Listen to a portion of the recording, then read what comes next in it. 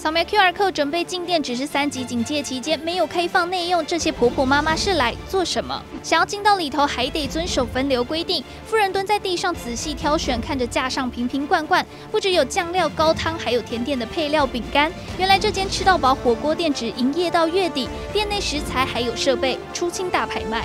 三级警戒期间，因为不能内用，餐厅收入大减。疫情之下，影响百业餐饮首当其冲。尽管即将降级，人潮复苏，看见转机。不过火锅店最后还是选择不再续租，让老顾客相当震惊。牛肉串跟生蚝在烤台上烤出诱人香气，但不是放在漂亮的日式盘面上，而是塞进便当盒。居酒屋业者一边靠外送撑业绩，更早早就为解封内用做准备。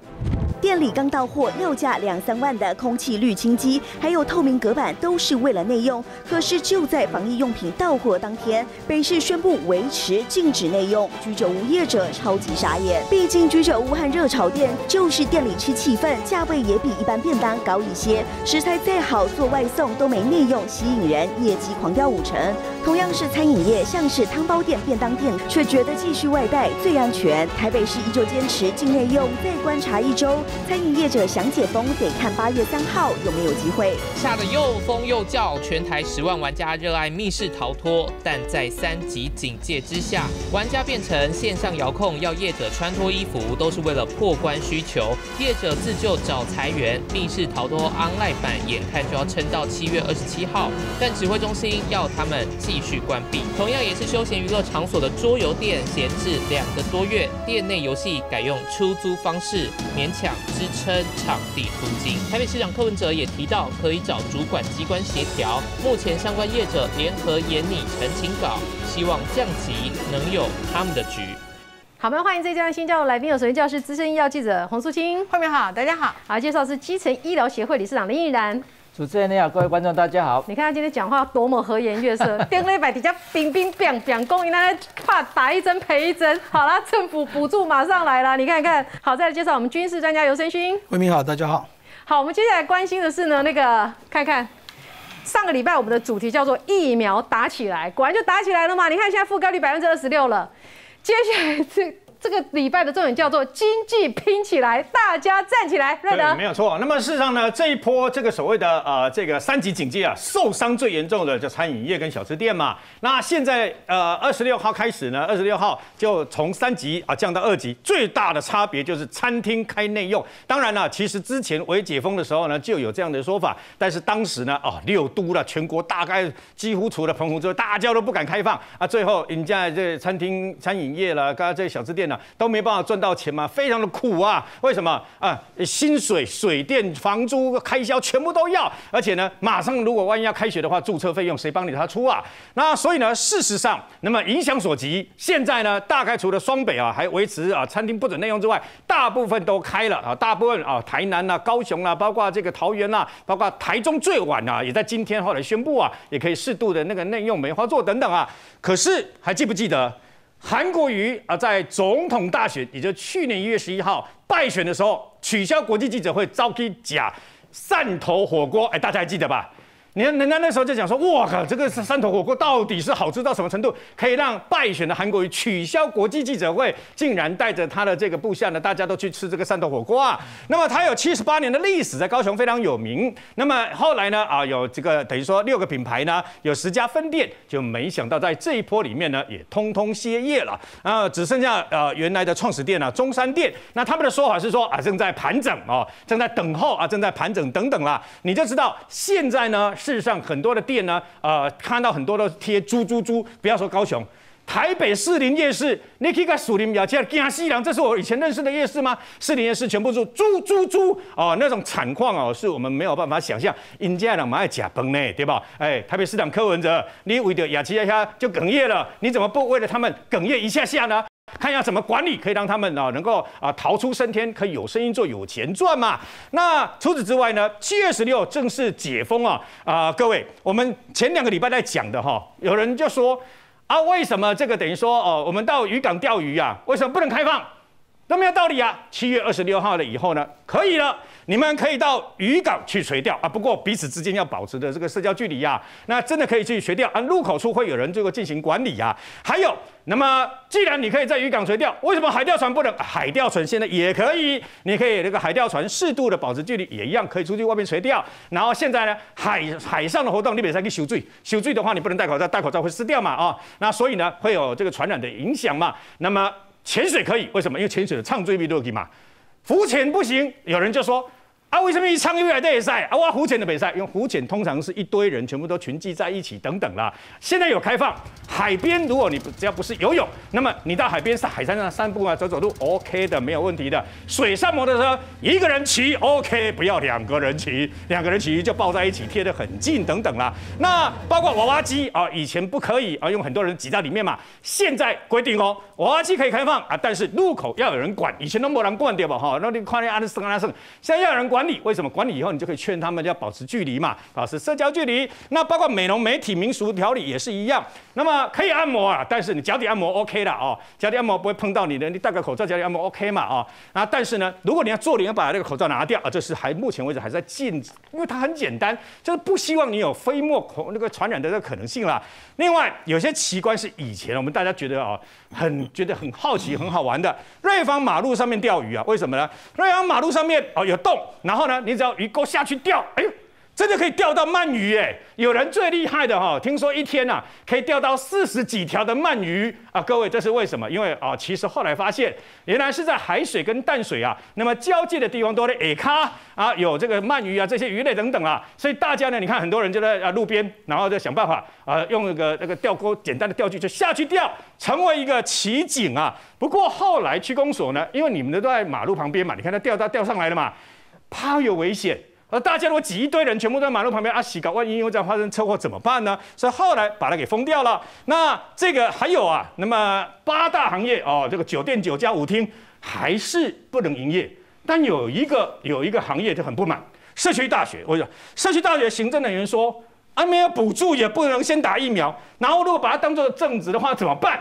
那你怕传染，可是不对呀。你安亲班呐、补习班呐，都可以适度的管制嘛。所以我个人建议啦，社区大学在一样的这个补习班跟安亲班一样的标准之下，也可以适度的放宽他们啊。为什么啊？毕竟呢，不要让这些行业因为这样子呢而受到这个的影响，而到后来大家真的全部都失业了。对，我觉得要勇于澄清表达这个看法了哈。你看现在美容美容业，哎，这个两三个月没有任何的现金收入，哎，现在终于可以慢慢的开放了。像这个林医师不。愧为理事长，丁礼拜第单这么大的奖被瞪得啊！好啦，补助费给你了，我们开心一点。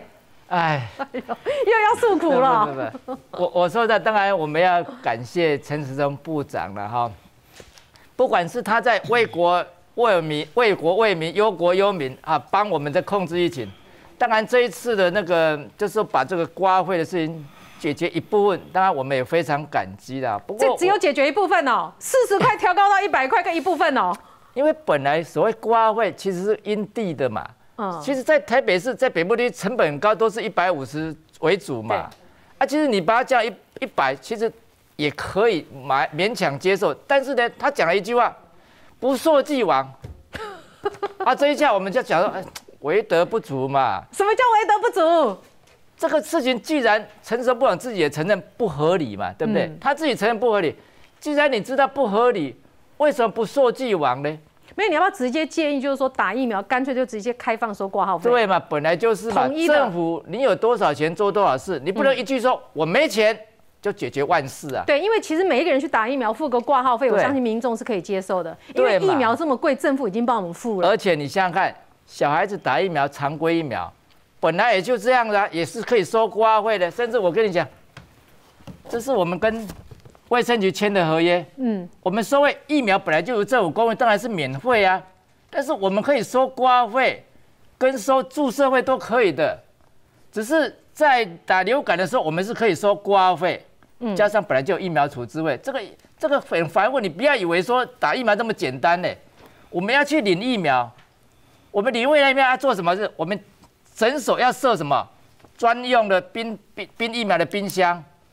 冰冰箱还不行，还有一个不断电系统，因为总是会断电停电怎么办？嗯，这些东西都是瞎比，尤其那个不断电系统那个电池。哎，你们基层医师之前在争取要打疫苗的时候，不知道有这些事情？没了，过去是这样的。过去为什么大家会打疫苗？因为小儿科本来就是天职嘛，就是他的打疫苗是他的天职，小孩子要打疫苗啊。这波 COVID-19 本来台北市都没有给基层诊所打的时候，你们希望可以打嘛？那时候不知道说越打越赔钱，是不是？对，他一一其实都还没有签，因为这个 COVID-19 的疫苗是新的东西，你知道？我们过去签的合约是什么？小孩子打了常规疫苗跟流感疫苗这两个而已嘛。嗯。啊，COVID-19 这个疫苗是新进来的疫苗，新进来疫苗就把它这个品相再增加这一项而已嘛。增加这一项，其实它引用的就是原来的收费的一个方式嘛。嗯。引用的是原来的合约的方式嘛。啊，这个合约方式本来就是我们可以收挂号费的嘛。嗯。但是中央政府一个命令说，哎，不准收挂号费，就这样。嗯。不准收挂号费，那么原来的这个条约没有改嘛？所以你今天来诉求有两个，第一个就是说。好，你要我们就是说政府自己从口袋挑钱补助，从四十块到到一百块也可以，但是可不可以溯及既往？对，这是你第一个诉求既往了。我觉得应该，既然是不合理，要更合理的是说，可不可以就直接让你们收挂号费就好？对民众一人一百五还付得起，政府也不用增加负担。对，是这个意思吗？你说预算不够，我可以了解。嗯，因为这个本来就预算有限，你预算不够，你就不要说完全请客嘛，你就不问请客而已嘛。就像很多的负担也是免部分负担，不能说免全部负担呐。你看我们福保的，我们是怎么样？福保你免部分负担，但是你挂位还是要付啊。而且当时候台北市至少。柯文哲市长呢，不如在家里睡觉就对了。还说要给你一百块嘞，我跟你讲，那个是其实是柯市长先来的了。他是说不要收瓜费，他要补。结果中央也应和了，就说我我也不收，也不准接我收瓜，我补你四十块。然后那个张文张博洋医师前一阵不是发脸书？其实啊，我说我很佩服他，我有时候想说我不一定不一定比得上他，你知道吗？你觉得很有勇气？你知道他很有勇气呢，他开出第一枪。其实这个事情哦，打疫苗的事我们已经抱怨很久。我们已经抱怨很久，包括小孩子的常规疫苗，白纸黑字第二枪，我们都是亏本在经营的。嗯，真的了，那个打一个疫苗，你你觉得那么简单吗？你你有一个有一天你抱一个小孩子来看，你看打针多繁复的一件事情。哎，我要是陈时中，我就会回说，那我可不可以有一个要求？我做那么辛苦，你们不要每天都骂我，好不好？我就拜托你们一天不要骂就好了。对，这样可以。我跟你讲，我刚才已经先感谢他了。我们不是要故意骂你啦，我是说有一些恶意的媒体跟名嘴啦，你一天不要骂我就好了，这样可不可以？对不对？对，其实我们是就事论事的哈。其实这个是真的是不合理的，真的啦。对，我们真的基层了已经已经哀鸿遍野的啦。嗯，不要在我们在的雪上加霜。解封对你们有影响吗？啊，解封对你们会不会让你们好一点？也很有限呐，我跟你讲很有限。我们今年哦，真的是业绩哦掉了至少。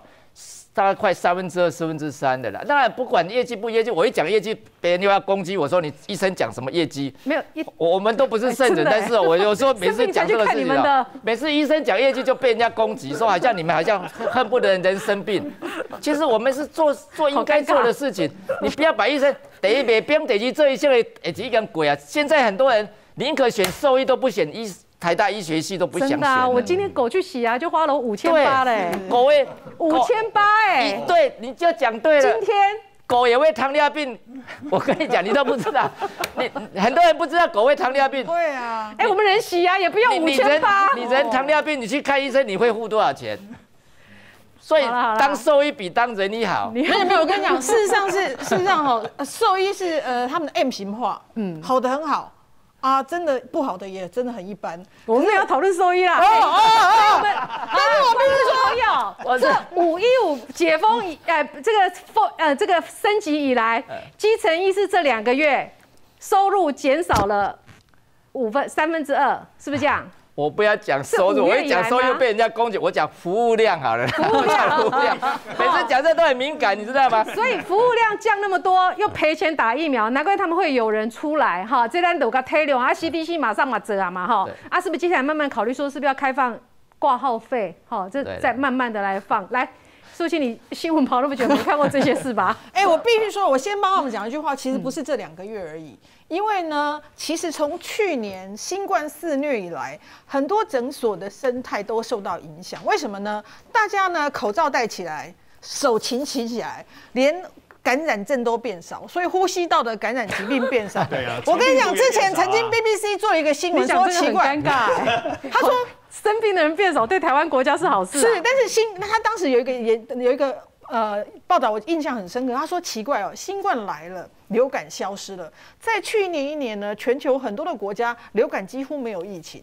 那流感没有疫情，对其他国家人来讲可能觉得很好，可在台湾我们也觉得很好。对，可是对医生就很惨。大家可能会觉得说，哎，奇怪，因点子的变管呐，啊个保障您收入啊，应该没办法。我跟你讲，问题是挂号费都无啊。啊，上面弄不完啊，已经撑了一年，撑到现在，对不对？突然间更严重，有牙医说哈，他已经把他那个诊所的设备都要拿去抵押了，因为什么？要变现嘛，因为有现金流啊，你房租要出啊，护理人员薪水要付啊，所以其实真的还蛮惨的。所以如果需需要补助的时候，真的要给，我们也希望说还是有医护帮我们撑着。不过其实不止改变了医护的这些生态或医院的生态，其实大家可能不知道是新冠默默的也改变一些事情，比如说在美国啊，他们今年。CDC 就公布了一个数字哦，大家可能很难理解。二零二零年美国人的平均寿命呢，比二零一九年一口气少了一点五岁。天哪！大家想说，哎，奇怪，不是现在医疗科技越来越进步，嗯啊，人类的平均寿命都越来越长吗？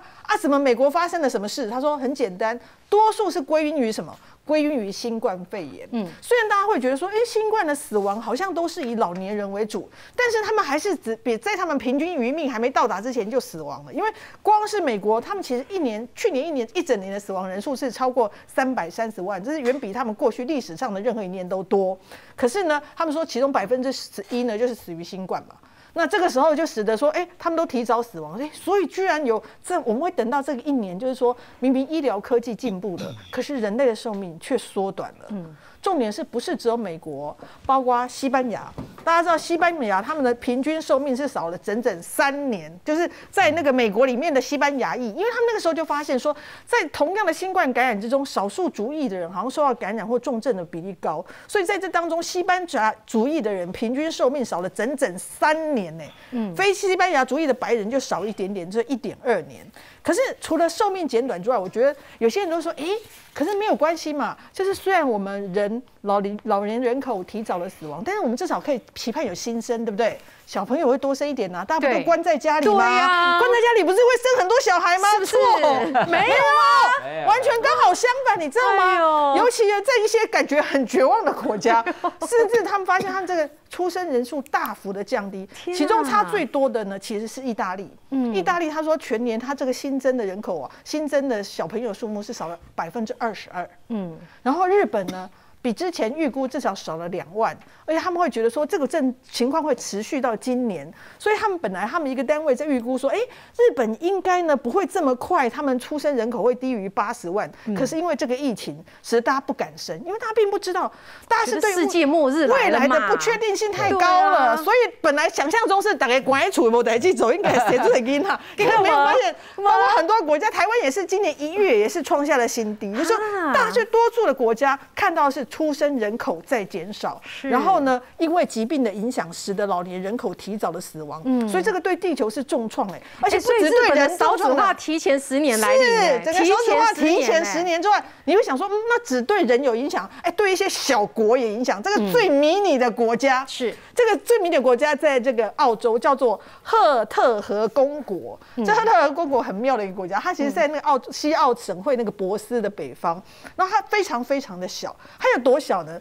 它的面积只有七十五平方公里，嗯，它总共只有二十六个人口。哇，它是怎么出现的？它是怎么出现的呢？其实它是早年在一九六九年的时候啊。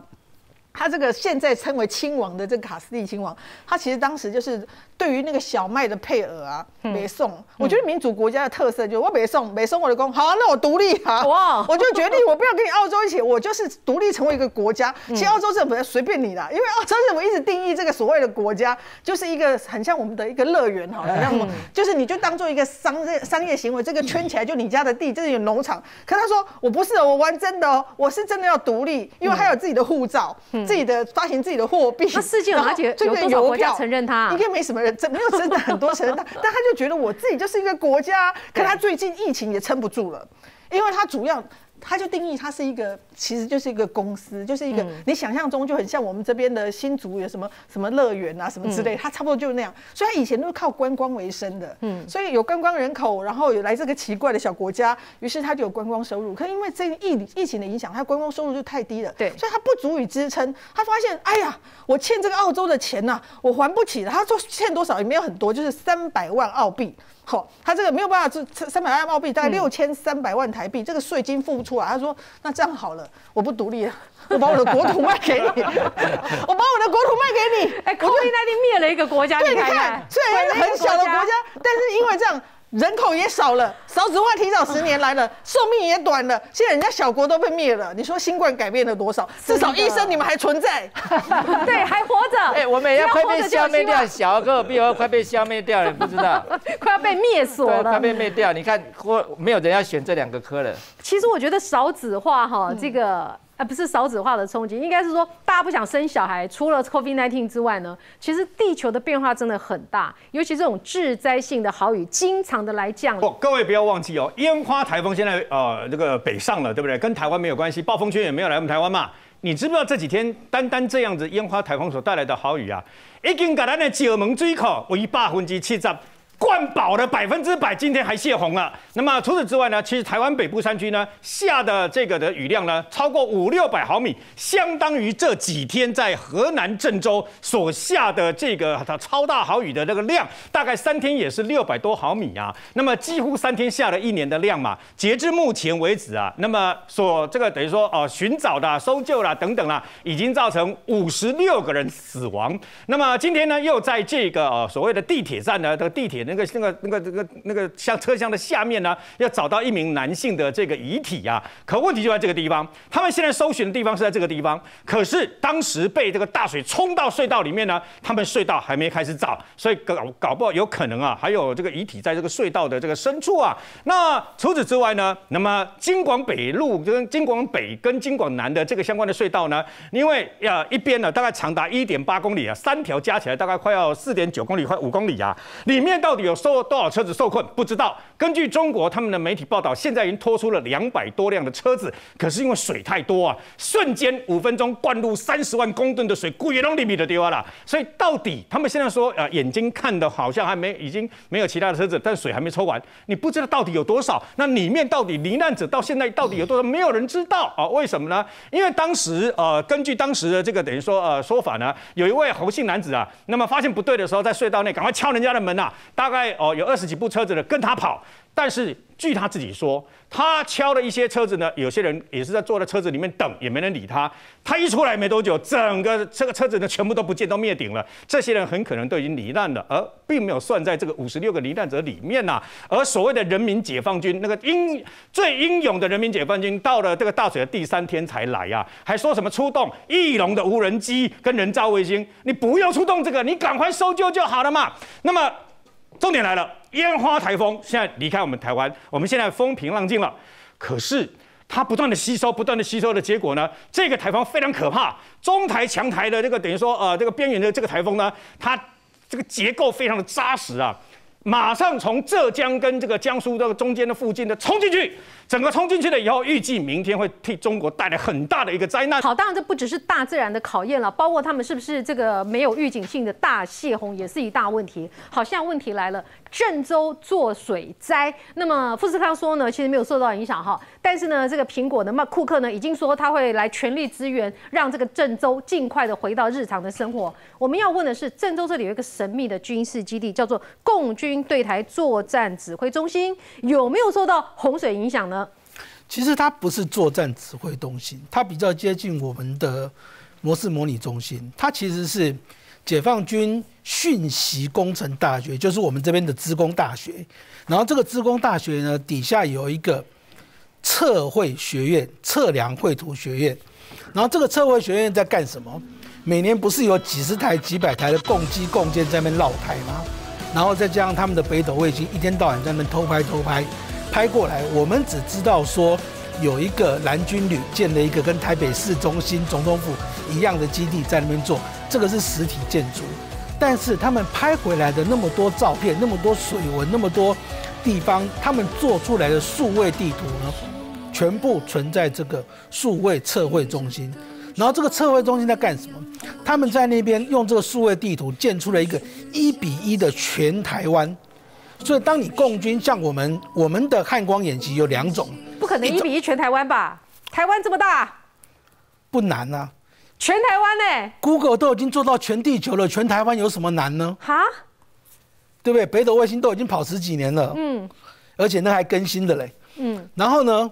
这个数位地图呢，就可以让解放军各个军区司令，假设我今天命令是好，我要攻打高雄港，那我就说好，陆军什么单位什么单位，海军什么单位什么单位，然后我就把高雄港地图调出来，给你的人员去做指挥、观测跟会测，然后来评估我要打哪一条公路，这条公路打了之后，让你的国军没办法驰援，然后我再从哪一条公路要怎么样去做，去做这个地方，这个学院就是在做这件事情。嗯，然后你不，你刚你刚刚说不可能，对不对？嗯。